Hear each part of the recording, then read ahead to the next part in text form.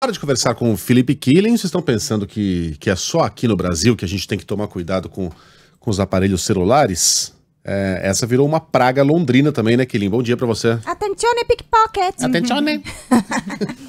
eu pensei muito nisso, viu, na hora que eu li essa matéria. Uhum. Ainda bem que você citou.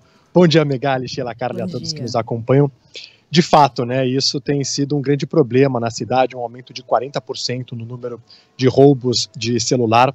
E aí uma estatística mostra que a cada seis minutos um celular é roubado em Londres. São cerca de 250 aparelhos roubados por dia, mais de 90 mil por ano. E as principais regiões são bairros centrais. Quem está nos acompanhando pelas redes sociais consegue ver algumas imagens de como muitos desses criminosos atuam. Eles passam de moto e aí percebem um pedestre distraído e pegam o celular.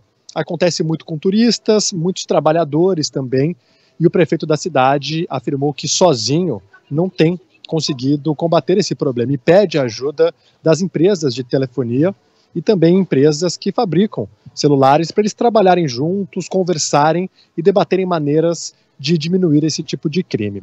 Os celulares mais modernos por aqui chegam a custar mais de o equivalente a 6, 7 mil reais. Então é algo bastante lucrativo para esses bandidos. Eles roubam e aí vendem no mercado paralelo.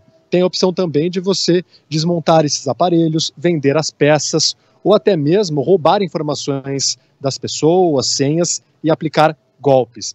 A violência em Londres tem aumentado bastante, né, sobretudo nos últimos anos. Ontem, inclusive, na principal rua de comércio da capital, a maior rua de comércio da Europa, a Oxford Street, Nove pessoas foram presas, jovens que se organizaram nas redes sociais para fazer saques a, uma a lojas ali nessa rua. Uma loja de esportes e também uma loja de conveniência foram atacadas. A polícia conseguiu fazer a monitoração das redes sociais, levou um grande efetivo para as ruas, mas mesmo assim aconteceram prejuízos. Muitos brasileiros reclamam também que a polícia ela não ataca como deveria muitos problemas.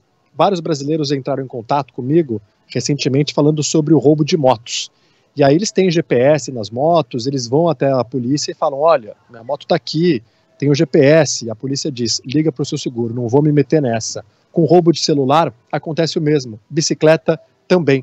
Então tem a questão do aumento do custo de vida, o próprio prefeito da cidade destacou isso, né, o Sadzi Cup, que tem levado muitas pessoas a cometerem crimes por conta é, da inflação, tá mais difícil você sobreviver na cidade, mas tem também um fator citado por muita gente que trabalha nas ruas e é vítima é, desses crimes de que a polícia muitas vezes não toma atitude. E aí os bandidos, sabendo que tem impunição, acabam realizando com mais frequência esses crimes. Eu, eu tô vendo aqui, uh, Londres ainda é uma cidade muito segura, tá? Quando a gente pega aqui a uhum. taxa de homicídios, né, Killing? Ela fica ali em, abaixo do, de 2 para cada 100 mil habitantes. Uhum. Aqui, aqui no Brasil, as nossas capitais mais seguras têm taxas de 8, 9 uh, para cada 100 mil habitantes. E as mais perigosas estão lá na casa dos 30 quase. Então, ainda é uma cidade muito segura. Agora, em 2018, pela primeira vez, Nova York teve menos, para a gente falar das duas capitais do mundo aqui, né? Teve menos assassinatos que Londres, porque Nova York tem se tornado muitíssimo segura no, nos últimos tempos, e Londres já foi mais, né? Mas não, não é um lugar em que a gente tem medo, por exemplo, de, de, de alguém botar uma faca na nossa barriga, ou é, que isso mudou? Então, Megali, é, é, importante de colocar em perspectiva. De fato, ainda é uma cidade segura, muito mais segura do que as cidades brasileiras e outras cidades europeias. É raro alguém é, enfiar uma arma na sua cabeça ou até mesmo uma faca por conta de um celular. É mais essa atuação de você estar tá distraído, vir alguém pegar o celular ou correndo ou de bicicleta ou até mesmo numa moto. É um nível de crime diferente mas tem aumentado essa violência. As mortes normalmente acontecem entre gangues. É difícil alguém te matar para cometer, para roubar um celular, ou se está parado no semáforo e alguém colocar uma arma na sua cabeça e pedir o seu relógio. Mas esse tipo de crime, o pickpocket ou é, roubo de celular, tem aumentado bastante. É, é, é uma coisa com a qual dá para conviver Essa é, é uma praga urbana, mas. Ih, Megali, vamos fazer esse corte falar que você está defendendo o roubo de é, Com certeza. Não, não estou né? defendendo coisa nenhuma. O que eu estou dizendo é, é uma coisa de é, é, é morar na cidade, né? Você tem que conviver com isso.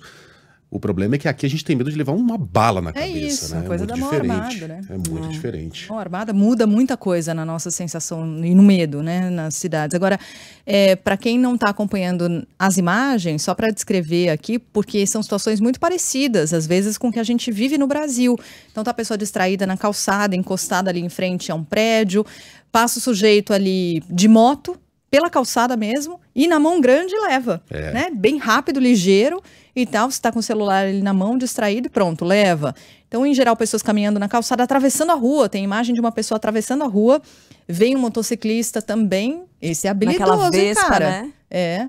E aí ele passa, solta uma das mãos assim da moto, do guidão da moto e leva o celular dessa pessoa que está atravessando, que está com o celular. Ah, mas o mão. cara tá atravessando. Não, é que ele estava atravessando ali, é, imaginando que as motos fossem parar. É, né? que elas deveriam Elas parar. deveriam parar, elas vão parar, porque aqui é o lugar de atravessar. Não, isso. só que elas não pararam e nhoque no celular do cara. É, levaram. Então é isso. As imagens são muito parecidas com um pouco do que a gente vê acontecer aqui, né?